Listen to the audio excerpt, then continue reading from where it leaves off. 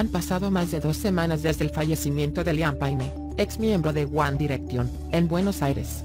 Después de que su padre llegara a esa ciudad pocos días después del lamentable hecho para llevarse el cuerpo de su hijo, esto ocurrirá dentro de poco.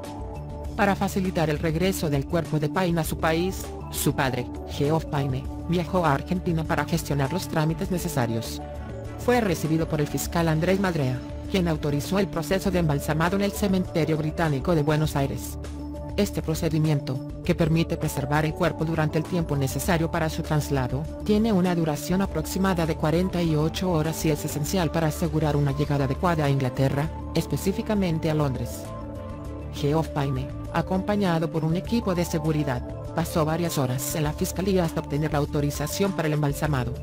Esta medida fue aprobada luego de días de trámites y espera, permitiendo que el cuerpo del cantante fuera trasladado al cementerio británico, donde se realizaría el proceso. Con los documentos en orden, se prevé que el vuelo hacia Londres se realice el miércoles de la próxima semana, brindando a familiares y amigos la oportunidad de despedirlo en una ceremonia solemne en la Catedral de St. Paul. Según medios británicos, la madre y hermanas de Liam Payne desean realizar un servicio funerario en la Catedral de St. Paul en Londres, un espacio lleno de historia, para honrar la memoria del cantante. No olvides suscribirte a canal Tuitealo y dejar tu like.